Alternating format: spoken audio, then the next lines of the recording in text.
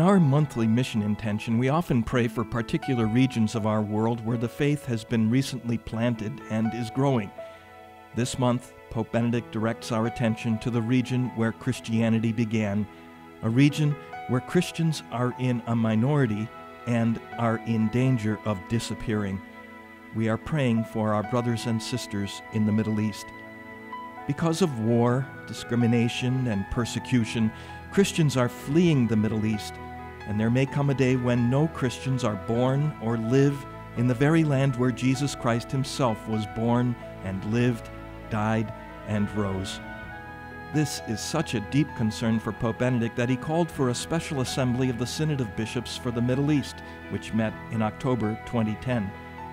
In an exhortation he wrote afterwards, Pope Benedict said, Life in the Middle East is rich in diversity, but all too frequently restrictive and even violent. This affects all the inhabitants of the region and every aspect of their lives.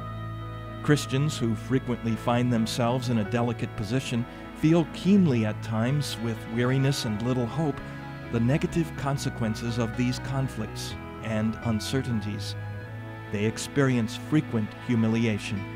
They know from experience that they are often the victims when trouble breaks out.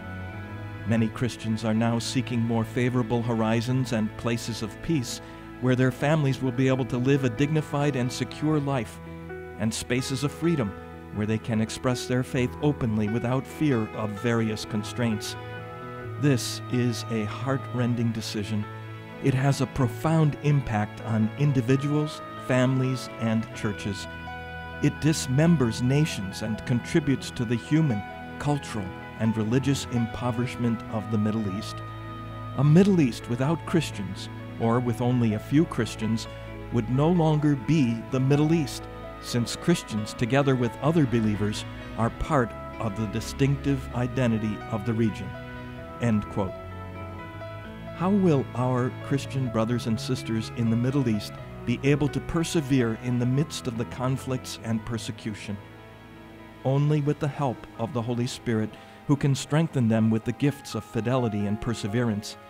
It was the Holy Spirit which formed the first communities of Christians in the Middle East and it will be the Holy Spirit who will help them remain strong in spite of adversity and turmoil. Christians are necessary for peace in the Middle East. As they follow Christ, they are living examples of forgiveness and reconciliation, which, along with justice, are necessary for peace. May these words from the conclusion of Pope Benedict's exhortation on the Middle East inspire us to pray with him this month for Middle Eastern Christians. The light of Christ is meant to spread to the farthest ends of the earth and to the hearts of all men and women, even where the darkness is deepest.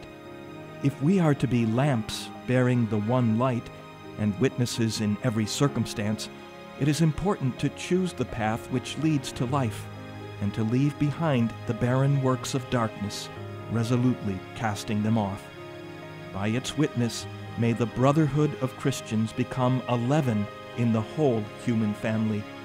May Christ's followers in the Middle East, Catholics and other Christians as well, be one in courageously bearing this difficult yet exhilarating witness to Christ, and thus receive the crown of life.